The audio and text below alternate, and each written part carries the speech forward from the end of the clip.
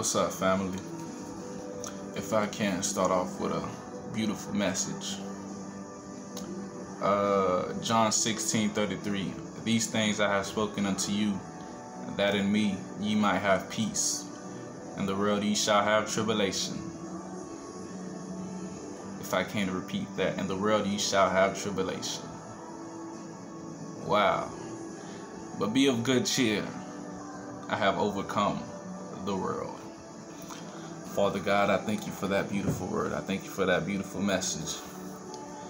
I thank you so much for telling us beforehand that in this world we will have troubles. We will go through obstacles, hurdles, speed bumps, find ourselves in many situations that we are not too fond of. Those things that we were trying so hard to avoid, those are the things that come up to our doorsteps. Father God Jesus, I thank you so much for that word, for that good news. But if I read the message clearly, it said to be of good cheer, to not let the bad news overtake you. Why? Because you have already overcome the world. Jesus, I thank you for already overcoming the world. That verse right there is a whole sermon. It's it's good enough news for me. Um before this video, I would like to say this video is for the defeated, it's for the low in spirit. So if your day is going all goody goody, peaches and cream, you could go ahead and exit out, go watch another entertaining video on YouTube. It's a bunch out there, trust me, I know. but um obstacles. What do a young black guy living in Miami know about obstacles? I'm reminded of a time when I was in middle school and the, the school security guard, he was going from lunch table to lunch table looking for a guy with my name. Me not knowing anything, I raise my hand up and I'm like, yeah, that's me. He takes me to the uh, office, the school office.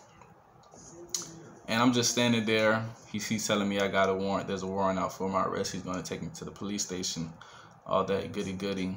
And uh, I remember him telling me if I felt like running or anything like that. I guess most of the individuals that he go and pick up from school, that's what they do. I wasn't going to run. He was like, if you feel like running, let me know now so I can put the handcuffs on you. And the school officials are like, um, oh yeah, when you guys are leaving, just take them through the back door. We don't want the parents seeing that we have kids like that attending our school. What do I know about obstacles? Mind you, I'm in middle school. In middle school, I was in and out of juvie. What do I know about obstacles? Uh, the first time I had handcuffs on me, I was 13. What do I know about obstacles? Father God, Jesus, I thank you so much for the situations that you have put me through to be able to tell others that if I made it through, that you could deliver them also.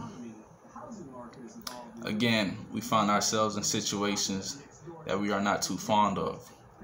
We get married, we think the marriage is going to be all peaches and cream, lovey-dovey, and then things go south. And now you're reconsidering the marriage. You're reconsidering the friendship.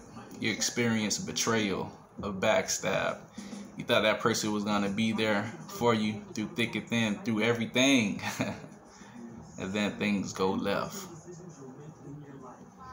Well, Josh, if you've been through so much, and possibly while you're doing this video, you're probably experiencing something. Uh, many people didn't know my last video. Maybe everybody thought that I was having a good day. I actually made that video after experience a not so well day, but God is so good, He's able to bring that up out of you. He already said, I have overcome the world. I'm giving you this peace. I'm telling you everything beforehand so that you might have peace. We ought to thank God for giving us that knowledge. Knowledge is power. The more you know, the further you're able to go. So, um, as I continue, yeah, I was able to make that video. I was still praising God through through the storm. I'm gonna praise you, God, in this storm. That's what we ought to do. That's how that video came about. And even with this video, I was recently going through some things, but still, I gotta motivate. If you're not a self motivator, you're not going to make it in this world. Only the self motivated last. You can watch a motivated, motivational video, and then after that, what next? That motivation may be lost, you may lose it. But you got to learn how to self motivate yourself. You got to learn how to push yourself when you don't feel like pushing. You got to always have that in the back of your mind that even though I'm going through something right now, that I can still get through it. I can still push it out, push it out. A closed door is not always locked. All you got to do is push. So yeah. That's my main idea for this for this message for this video throughout all the obstacles, the hurdles, the speed bumps that we might we, we might find ourselves in. We got to keep on going. We got to keep on pushing. God is good enough to get us through. A couple of stories that I'm familiar with.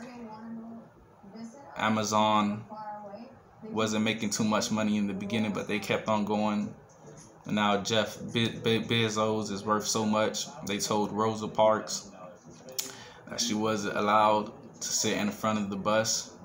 Now, you know the story nowadays. Blacks could sit wherever they want.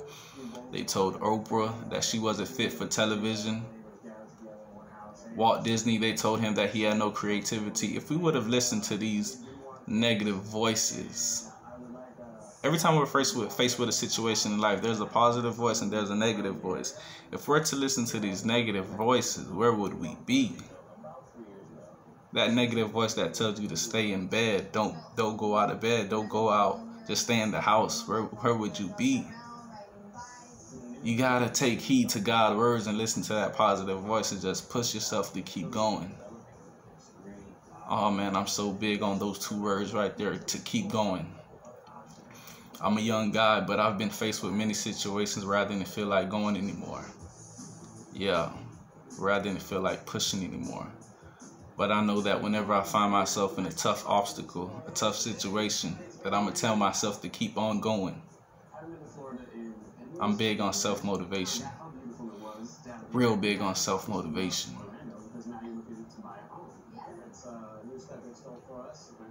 I believe that's the good word that I want to leave you, you, you wonderful folks with today.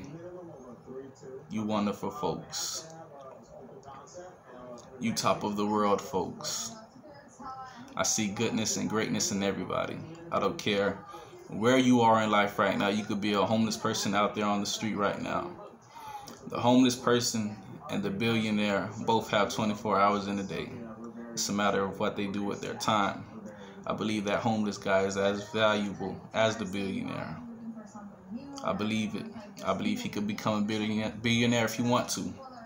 I believe we can achieve all of our desires if we desire to, no matter where we find ourselves at in life right now.